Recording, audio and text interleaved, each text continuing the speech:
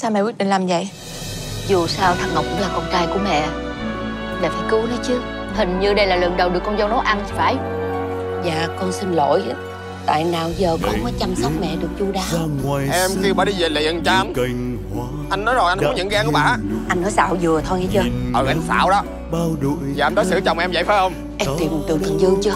Em hỏi nhiều chỗ rồi. Nhưng mà chưa có tin gì hết. cho ta nhiều Sao nhìn con khác thế? Con đã đi đâu đấy? Thằng Ngọc cứ đi tìm con suốt thôi. Cô cho con hỏi chuyện này. Đến giờ anh vẫn chưa liên lạc được với anh Dương Ta nói không còn tình yêu ở Lúc sắp trên chết. đời thì tại Anh sao sẽ hiểu sẽ tha thứ hết.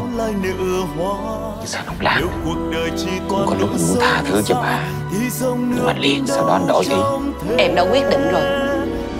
Em sẽ cứu anh cây táo nở hoa, phim truyền hình Việt hot nhất 2021 trên Vion và còn có cơ hội nhận được hàng trăm quà tặng mê ly.